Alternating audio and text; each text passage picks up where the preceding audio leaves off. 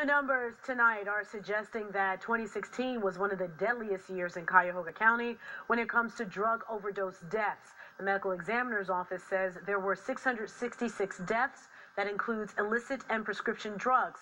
591 of those were from heroin, fentanyl, cocaine, or a combination of the three. 54 of them were a result of an overdose on carfentanil, the opioid that's used to tranquilize elephants.